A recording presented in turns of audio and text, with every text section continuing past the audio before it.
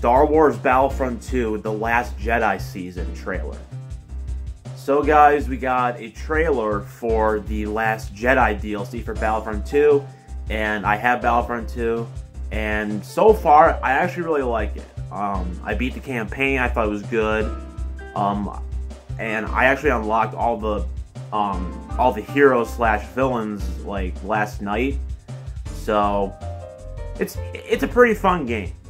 But um, now we're getting DLC, and the first season is The Last Jedi, and we're gonna be getting Finn and Captain Phasma and Crait and a space map over D'Qar, and then more campaign missions for Iden Versio's, um, like like what she was doing during the rise of the, of the First Order. So basically unexplained events that happened before the Force Awakens. But yep, let's react.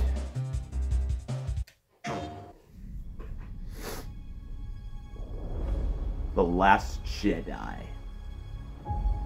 We have 10 Phasma! ready to fight. Oh my god, this looks so good. Choose a side. Finn! All the new walkers, and then there's Crait. Oh, those speeders. Holy shit. Woo!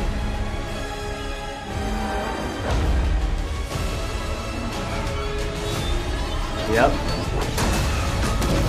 Oh. If we could learn how Iden's powerful story First continues. really is. Then the resistance might have a oh, chance. Oh yes, the ending. Whoa! Oh my god, she's old now. Leia! Hey, alright. Hmm.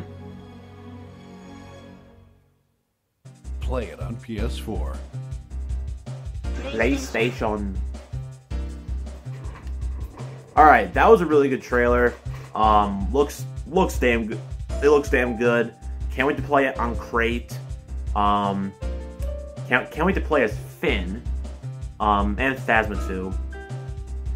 Um, but if I had to pick a side, like like the resistance, the resistance or the First Order, I pick the Resistance because it's the Resistance and they're the good guys, and yeah. And plus, I like Finn more than Phasma. Like, Phasma was basically just another Boba Fett. She barely did anything in The Force Awakens, so and so I hope she does more in The Last Jedi. We'll see. Um, and then, well, I think I think I'm most excited for the the continuation of Iden's story though, because um, in the Battlefront 2 campaign, it ended with Kylo Ren like torturing Del Meeko, and then he dies, and then boom, cliffhanger. So it's gonna be cool. Uh, so yep, thanks for watching, and may the force be with you always.